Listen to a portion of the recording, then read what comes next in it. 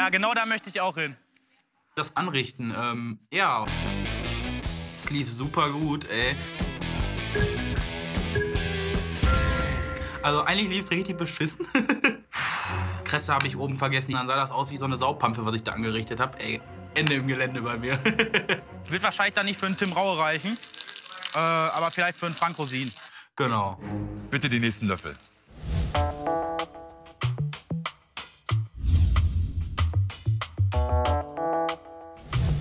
Ja, das ist hier ein Pfannenschnitzel quasi. Das ist so, wenn du aus der Pfanne noch mal so rauskratzt. So schaut das aus. Das, Das ist jetzt böse auch so. gemeint. Das Ja, riecht nach Pfannensatz. ja, genau. Super. Super Proportion, alles super. Grillteller. Also sicher ein Löffel mit dem ein oder anderen handwerklichen Fehler, aber aus irgendeinem Grund schmeckt er geil. Naja, weil, weil das die alten Klassiker sind. Weißt Ja. du, hast einen Hauch Süße, du hast eine Ah. Cremigkeit durch die Soße, dann hast du ein Schnitzelchen da drauf, die Möhre. Äh, Lecker. Absolutes Leckerchen. Ja, Ja, ist ein Leckerchen. also mir schmeckt das richtig gut. Ich habe das schon ein paar Mal besser gegessen. Bin nämlich total enttäuscht, weil ich habe mich darauf gefreut, weil es ist so ein, so ein Herzgericht und das habe ich so erwartet und dann ist es so diese Enttäuschung des feinen Herrn Spitzenkoches, dass er eben sagt, das Schnitzel war jetzt doch nicht so gut. Es gibt auch mal Dinge, wo die Fehlnote zu einer Kultur gehört. Ja, Was, wieso sagst du das jetzt beim Schnitzel? Aber Wir sind uns uneinig einig, aber wer hat's gekocht? so eine Dame, die das für die Familie immer wieder kocht, so, ich, ich das ist so denke, Hausmanns, Hausfrauenkost. Also. Nee, also ich habe eher so das Gefühl, da ist so ein Berserker, der die Pfanne liebt und das Fett. Holen wir ihn rein? Ja, herzlich willkommen. Also ich glaube, das ist der Löffel. Das ist der Löffel. Ja. Ja, Männers, ich bin Marco Volke, bin Dortmunder, bin Normalökonom und dualer Student im Baumarkt. Also eigentlich wollte ich zu dir, Tim, sag ich dir Ja. ehrlich, weil du machst die geilste Küche. Du bist für mich so Oberstufe, Endstufe. Aber ich stand schon da unten und hab mir gedacht, ey, für Tim reicht's nicht. Und nein, ich bin keine Hausfrau. Um auf den Löffel zurückzukommen. Aus irgendeinem Grund schmeckt das richtig gut. Aber es reicht ja nicht. Na, jetzt weg mit den Selbstzweifeln. Der hat einfach geschmeckt. Es gibt bei Kochen, gibt's nicht richtig oder falsch. Es ist für mich an der Stelle nur für den Taste, wo so eine feinmotorische Arbeit vom Vorteil ist, wo man äh, sehr ins Detail gehen muss, einfach nicht. Rede ich wirklich so viel? ja. Okay. Leider nicht genug. Alles gut. So, jetzt streng dich aber an und mach schnell, gell? Na, ich brauche mich nicht anstrengen. Für ein Team hat es natürlich nicht gereicht. Jo, weiß Vielen Bescheid. Dank. Trotz Bitte. alledem für die Performance. Ja, danke auch. Okay, Vollkatastrophe so. Was man halt sofort merkt, dass dir Kochen Spaß macht. Es ist halt auch so, dass dein T-Shirt auf Bauchhöhe genauso aussieht wie der Löffel. Bleib vor allen Dingen so, wie du bist, voller Kraft und Energie und fokussier das auf den Löffel. Easy, weiß ich Bescheid. Ja, Frank. Was machen wir mit dem? Hm? Was machen wir mit dir? Ja, ich hätte jetzt gesagt, entweder Dschungelcamp oder dein Team. Das ist das Gleiche. Komm mal zu mir. Weißt du, was ein Roulette-Tisch ist? Mm, Im Casino schon, bei dir nicht. Das ist schwarz oder rot, ne? ja. Dann mach mal da das Ding hoch. Dann mir? guck mal jetzt, ob schwarz oder rot kommt. Nee. Ja. Geil! Ja, Mann! Ja, Mann! Korrekt! Ja, Der ist korrekt. der Geilste. Ja, sicher. Ach, jetzt auf einmal. Wir lieben uns auch auf den zweiten Blick. Jeder, der in mein Team kommt, bekommt ein Team Rosin Armband. Geil! Ja, Mann! Korrekt! Puh, also dass Frank sich Marco ins Team geholt hat, ne? da muss ich wirklich sagen, ey, Atze, das ist eine Herausforderung. Ey, wir rocken das, wir gewinnen das. Ich sag dir Auf das. jeden Fall. Ja, Auf Tim, jeden Fall. hör mal, falsche Entscheidung. Du bist der Hammer. Ja, geil. Ich danke euch. Ich habe immer zwischendurch Kandidaten, die zu mir ins Team kommen, nicht weil sie den besten Löffel gekocht haben, sondern weil ich glaube, dass auch eine gewisse Verrücktheit jemanden dazu bringt, dass er angesteckt wird, hier bei The Taste sich weiterzuentwickeln. Das könnte er auch. Wir haben schon eine sehr gute Qualität an, an Löffeln und Kandidaten Sen gesehen. sensationell. und vor allen Dingen auch mit einer hohen Individualität, mit einer Persönlichkeit ausgestattet, dass man davon ausgehen kann, dass wir auch über den Verlauf der Sendung ähm, tatsächlich noch, glaube ich, ein paar Mal richtig überrascht werden auf den Löffeln. Mir gefällt das, dass das richtig tolle Typen auch sind. Ja. Wir wollen mal gucken, wer von uns sich für den nächsten Löffel interessiert.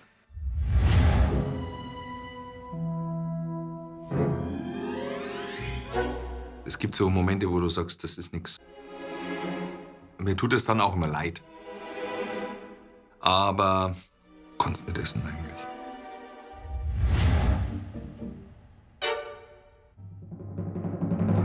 Der Löffel war schwierig.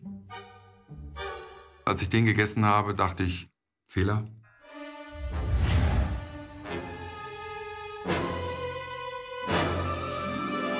Das ist wie ein Unfall, wo man nicht weggucken kann. Ne? Und in dem Fall nicht wegschmecken.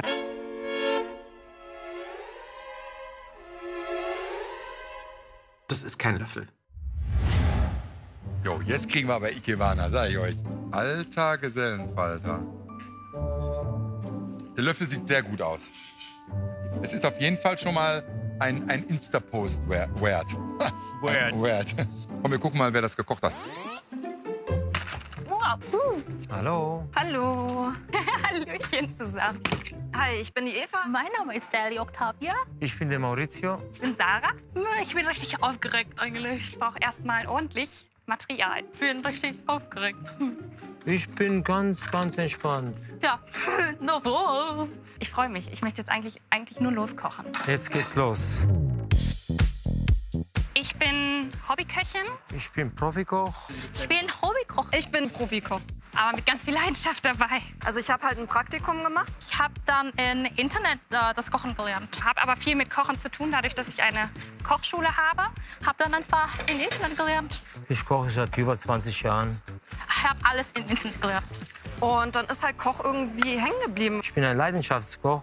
Yeah, Ich kann nichts anderes außer kochen. Liebe und Herz. Das sind die zwei besten Zutaten. Internet. The Taste ist die krasseste Kochshow der Welt, weil es nur um dieses eine Mal geht. Wir sind hier bei der Test und wir müssen 110 Prozent geben. Ich kriege das nicht raus. Und dieses Gericht, was du vorher einmal kochen musst und es perfekt kochen musst, damit dieser Löffel auch einfach perfekt wird. Cool wäre es natürlich, wenn alle drücken, dann kann man sich das nochmal aussuchen.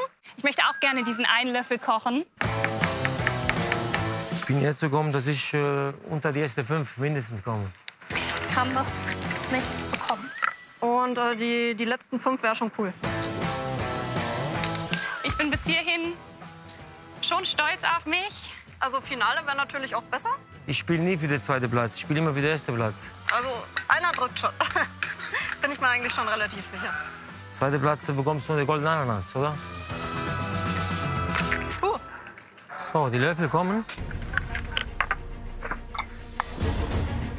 boah, ich zitter voll. Jetzt geht's los, ey.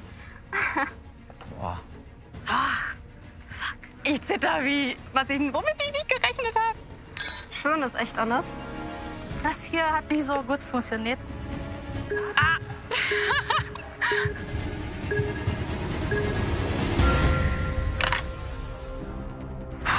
Kann ich das noch ein bisschen sauber machen? Geht nicht mehr, okay. Uh, Ja, das war am Ende ein bisschen knapp. warum zittert, warum zitter ich so? Oh. Ich war doch voll relaxed. Also. Ich finde, das muss dann ein bisschen schöner werden, aber Es ist individuell angerichtet, würde ich mal sagen.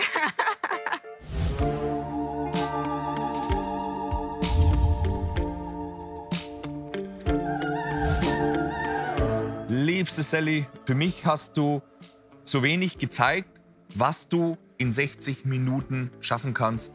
Und da dachte ich mir, das ist wahrscheinlich nicht die richtige Person für mein Team.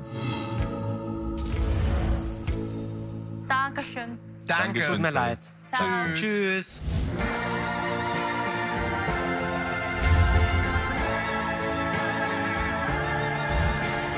Hast du es mit dem Püree vielleicht zu gut gemeint? Ja. Aber warum? Der Löffel war zu klein. Mir war da einfach zu viel von allem drauf. Nicht böse sein, bitte, aber bei mir habe ich leider keinen Platz. Alles klar. Danke für den Besuch Danke. und alles Ja, Gute. danke. Tschüss. Ciao.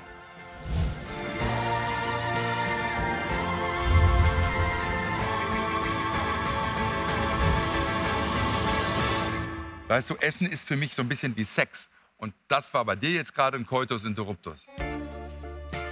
Leider nicht.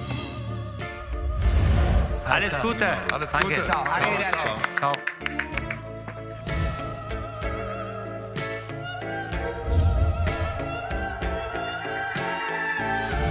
Hübsch. Eins mit Bienchen und Sternchen obendrauf. Geschmack. Bitte noch dran arbeiten. Vielleicht klappt es dann anders mal, aber heute nicht. Danke. Tschüss. Vielen Dank, Sarah.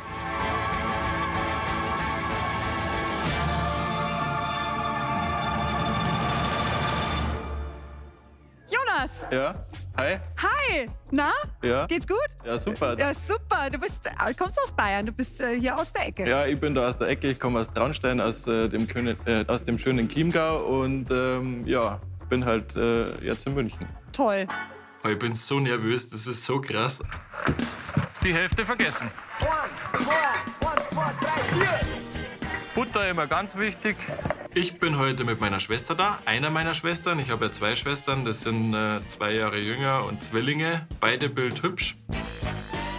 Hi, Theresa. Mensch. Na, da hat dein Bruder aber nicht zu viel versprochen vorhin. Er hat gesagt, du bist eine wunderschöne Frau. Danke, das kann ich nur zurückgeben. Oh Mann, also wirklich ganz toll. Dankeschön. Also ich koche heute einen Rehrücken aus der Hirschauer Bucht. Das ist direkt am Chiemsee. Den setze ich auf ein Kartoffelpüree. Ja, was gibt's denn heute auf Nacht? Mache ein paar glasierte Karotten dazu, Ja, was gibt's denn heute auf Nacht? gebratenen Spargel und eine Frühlingsmachel. Mittlerweile bin ich seit drei Jahren in einem kleinen Restaurant in Traunstein. Und da bediene ich, da koche ich, da mache ich eigentlich so alles.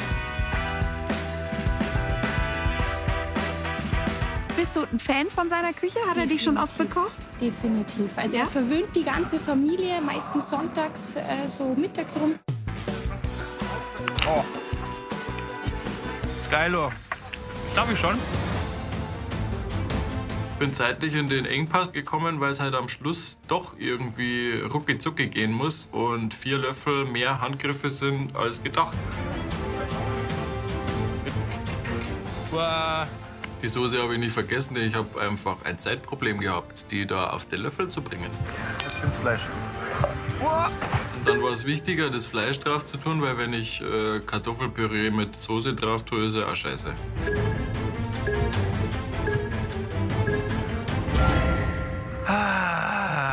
Und dann musste der Löffel halt so weg, wie er war. Ja, scheiße.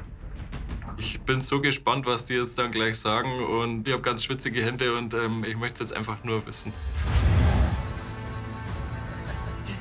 Oh la la la la la la Nein, nein, la, nein, nein, du sollst dir nichts rausnehmen. Du nimmst von links. Verstehst du so? Wenn du diese Löffelzusammenstellung siehst, ja, Püree, Gemüse, Morchel, Fleisch, da sagst du gleich äh, so schönes Sonntagsgericht.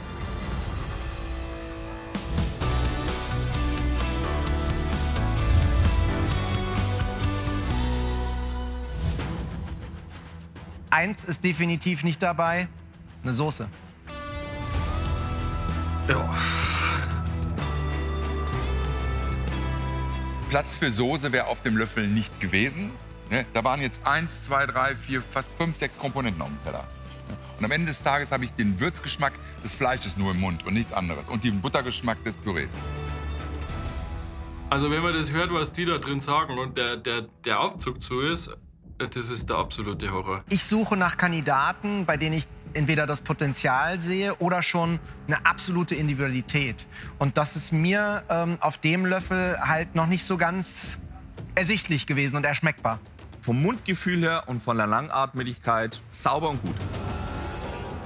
Und jetzt bin ich gespannt, welche Person steckt hinter diesem Löffel. Bitte Aufzug auf. Oh, ein stattlicher Mann.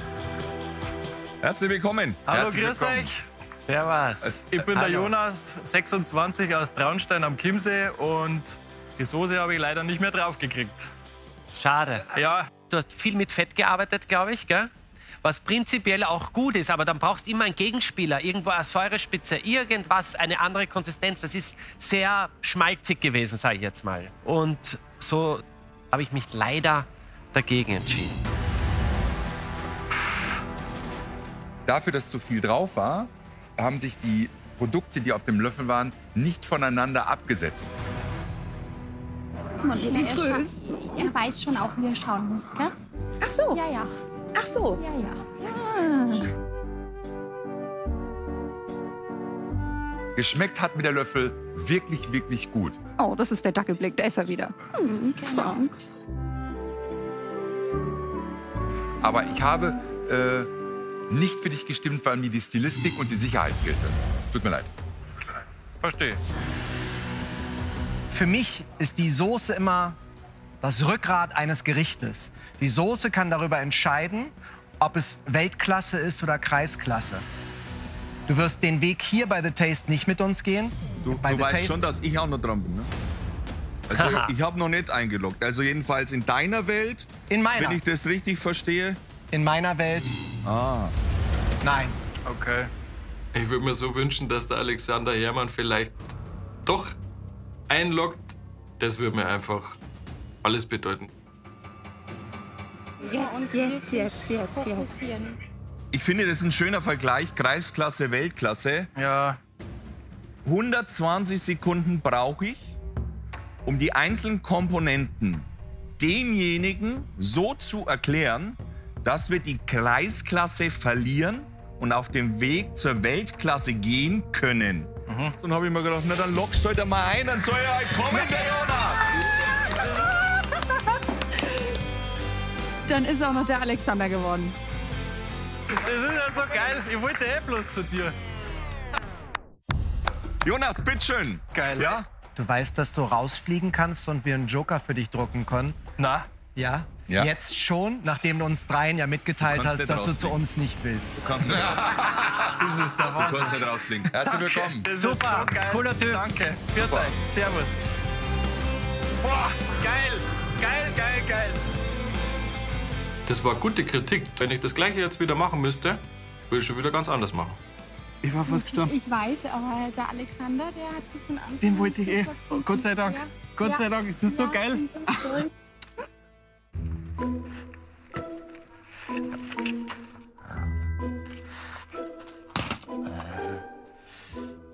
Alles. So. Ach, sorry, hi. Sorry, ich bin der Ben. Ähm, ich komme aus Köln. Ich bin äh, Koch, Küchenchef. Äh, achso, ich. Oh, sorry. Hallo. Ich will heute einen Lammrücken kochen in einem Sichuan Ponzu Sud. Gerösteten, besser gesagt geflammten Brokkoli. Das ist Bimi, das ist japanischer Brokkoli. Mit Topinambo-Püree. Amaranth-Chip. Das ist aufgepoppter Amaranth. Und äh, Physalis. Also, das sind die Physalis, die lege ich jetzt einfach nur ein bisschen Maracuja-Saft ein. Mit Salz und Zucker. Ich bin Küchenchef in der Tigermilch. Das ist ein gehobenes Restaurant in Köln. Und da machen wir Nikkei-Küche. Nikkei-Küche ist peruanisch-japanisch gemischte Küche. Das sind praktisch Japaner, die nach äh, Peru ausgewandert sind und mit den peruanischen Produkten ihren japanischen Kochstil beibehalten haben. Und äh, feier das halt total ab. Das ist einfach der Wahnsinn. So. Ich bin 20 Jahre Koch, so. ich weiß genau, wann ich was wie mache. Riech mal da dran. Riech mal dran. Das ist Wahnsinn. Ich werde die Chilis noch karamellisieren. Das bringt noch mal so ein bisschen mehr Funk an die Scheiße. Das wird knallen. Ja, Hammer. Ich wusste es auch, wenn ich die scheiß Fenchelsamen vorher anröste, dass es noch mehr wummern wird. Ey, richtig schön, Mann. Freue ich mich total. Der ist geil. Der ist perfekt, so wie er sein muss. La, la, la, la, la. Hat alles geklappt, besser als ich gedacht habe. Kann ich loslegen?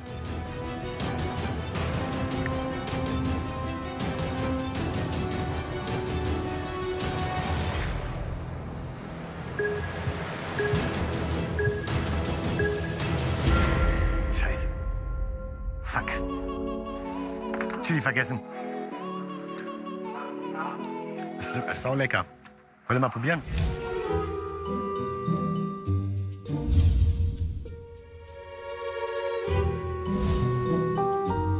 Oh. Ich bin gerade davon begeistert, wie viel Soße an einem Löffel kleben kann. Ich habe selten einen Löffel gehabt, der nach so viel gerochen hat. Der hat mir die totale Versprechung gemacht. Und dann probiere ich ihn und dann ist er ziemlich leer. Was für mich. Was, was ich am krassesten fand gerade war diese Breiigkeit dieses Sesamtalers, der dann alles irgendwie so einschleimt. Was für ein Sesamtaler? So, Aufzug, öffne dich und ich würde gern sehen, wer so viel Soße an einen Löffel geklebt hat.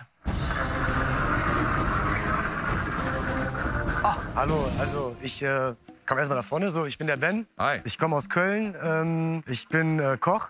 Ist dir die Soße ein bisschen zu stark einreduziert? Kann das sein? Ähm, das kann sein. Ich habe das Problem gehabt, ich, äh, die Sojasauce war sehr salzig, die ich hatte. Das war halt aus dem Supermarkt und das war halt, ja.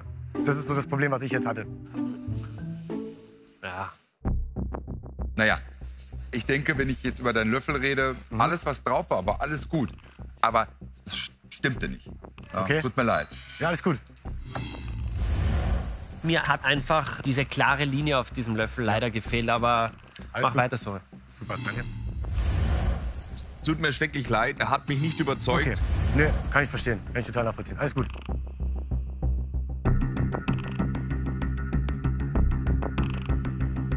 Du hast die richtige Zahl auf dem T-Shirt.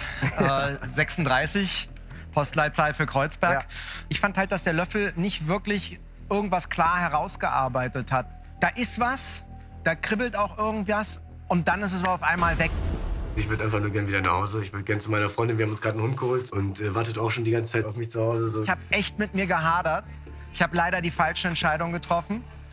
Ich habe dich Alles nicht gut. mit auf die Alles Reise gut, kann man genommen. nichts machen. Sehr schade. Ja, alles gut. Nee, kann man nichts machen. Naja, doch. Also ich ärgere mich so ein bisschen, weil mein Bauchgefühl hat gesagt, mach mal, das wird schon. Habe ich nicht drauf gehört. Sorry. Ist gut. Kann man nichts machen. Das hat mir leid getan, weil, weil ich Ben dann gesehen habe mit seinem 36 Kreuzberg-T-Shirt, hätte ich den sofort genommen. Ich hätte den am Fuß gepackt, in mein Team gezogen und nicht mehr weggelassen. Vielen Dank. Dankeschön. Ja, Alles ciao. Gute. Ciao. Ja, Also ich, ich glaube, ich habe den auch nicht gut angerichtet und es war einfach auch meine Schuld irgendwie und ja. Aber echt cooler Typ. Sehr.